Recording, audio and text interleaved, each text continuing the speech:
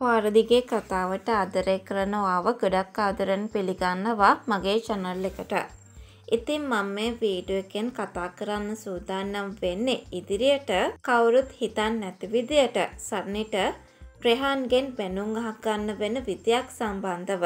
ඉතින් වීඩියෝ එකට යන්න කලින් ආදරණීය ඉල්ලීමක් කරන්න කැමතියි. ඒ තමයි වීඩියෝ එක බලලා ඔයාටත් කුතුහලයක් ඇති වුණා නම් අනිවාර්යෙන්ම මගේ channel එක subscribe කරලා මාත් එක්ක සම්බන්ධ වෙන්න.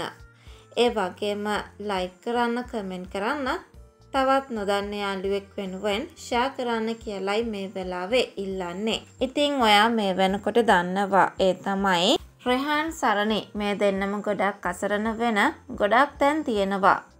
ඒ අතරින් අපි කතා කරලා බැලුවොතින් එහෙම රෙහාන්ගේ අම්මා වගේම නංගි එකතු වෙලා රෙහාන් ළඟදී ගොඩාක් කේලම් කියන නිසා තමයි රෙහාන්ට තමන්ගේ ඔෆිස් එකේ වැඩ පවා නැති කරගෙන මේ කට්ටිය ගැන හොයන්න සිද්ධ වෙලා තියෙන්නේ.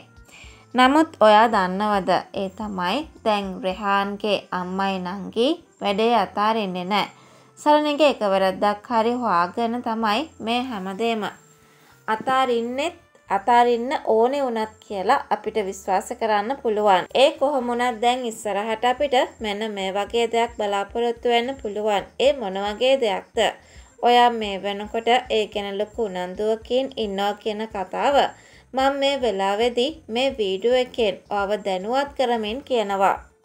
ඉතින් විශේෂම කතාව ගත්තොත් අපිට ඒ ගැන මෙන්න මෙහෙම ඔත් එක්ක සාකච්ඡා කරන්න පුළුවන්. ඒ කියන්නේ දැන් ඉදිරියට සරණගේ වැරද්දක් මාට්ටු වෙන්න නියමිතයි. ඒ වරද්ද මාට්ටු වෙන්නේ කොහොමද?